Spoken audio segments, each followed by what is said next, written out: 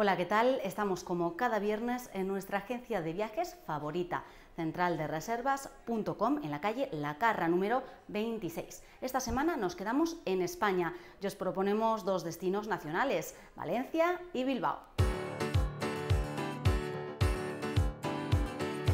Como siempre, como cada semana, para conocer estas nuevas propuestas nos acompañan María y Nacho.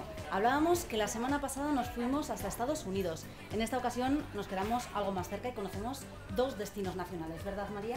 Sí, exacto. Vamos a conocer dos destinos nacionales, eh, eh, entre ellos Valencia y Bilbao. Vamos a empezar un poquito por Valencia, por esto del buen tiempo.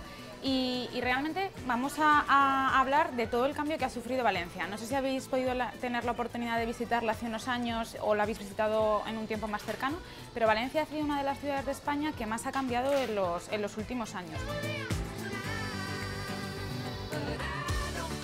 Valencia es una, ciudad que tiene las dos cosas que muchas veces valoramos, ¿no? que es ser una ciudad y tener playa. Pues de esa manera podemos tener pues, un poco turismo de, las dos, de las dos maneras.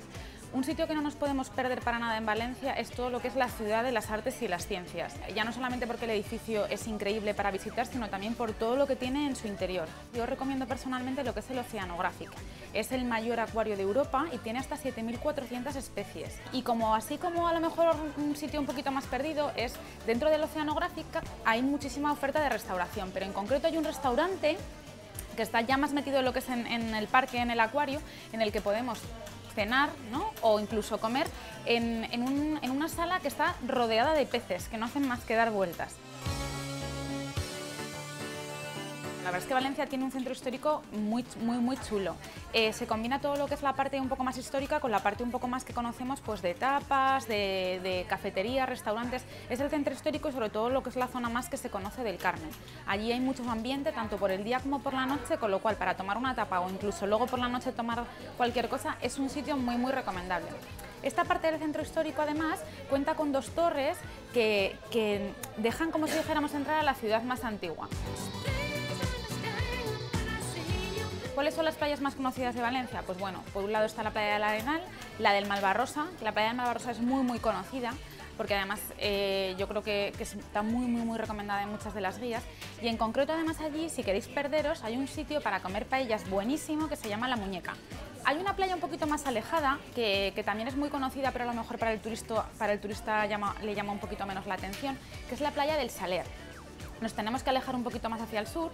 Esta playa eh, también es muy famosa y suelen ir bastante gente que reside en Valencia y tiene, se suelen formar dunas con vegetación. Además allí hay un hotel que se llama el Seri Saler que tiene unas vistas increíbles, es un hotel de hace mucho tiempo que han rehabilitado y bueno, si alguien quiere darse un homenaje pues no está de más dejarnos pasar por allí. Y bueno, para ya a lo mejor finalizar nuestra visita por Valencia, yo creo que no nos tenemos que dejar de, visitar lo que es el Parque de la Albufera.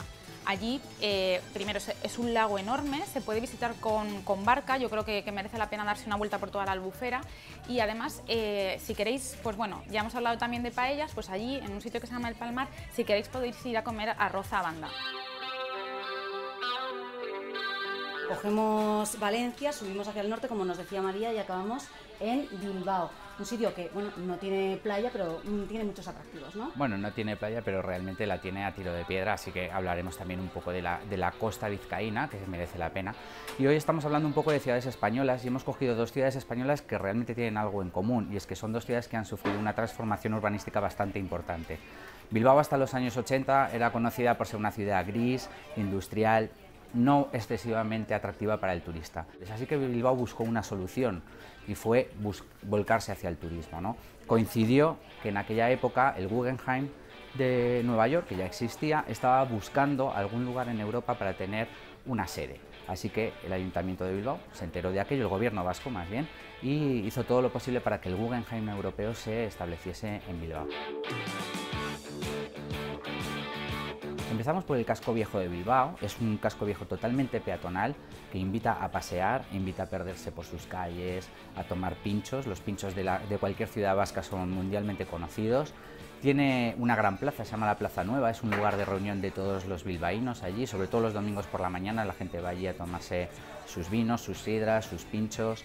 Podemos encontrar la Catedral de Bilbao, que está dedicada al apóstol Santiago, y en realidad es un barrio eh, que está lleno de vida constantemente.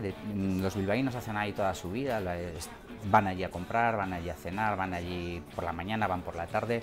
Así que es la mejor forma de empezar conociendo Bilbao. ¿no?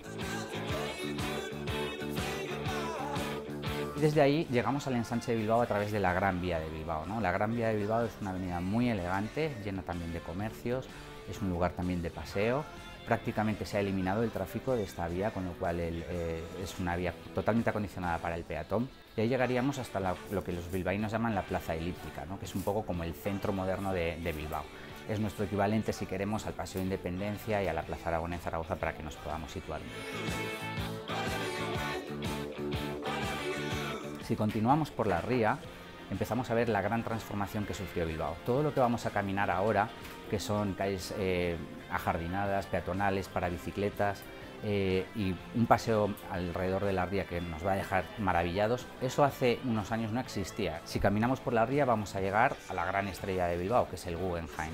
El Guggenheim es uno de los museos más famosos de España en este momento, con proyección internacional y sobre todo lo que nos va a llamar la atención de él es su arquitectura.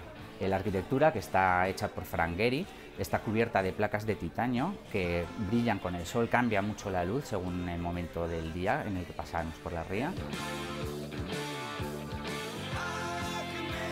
Si cambiamos al otro lado de la ría, tenemos unos barrios de Bilbao, son más residenciales, pero son las playas de Bilbao, los puertos de Bilbao, como pueden ser Guecho, Las Arenas, y enseguida podemos llegar a la zona de Sopelana, que son las playas preferidas de los bilbaínos. Son playas enormes, salvajes, muy poco urbanizadas, que hay que descender acantilados y llegamos a unos grandes arenales con, con olas muy, muy buenas olas para practicar surf, a quien le guste.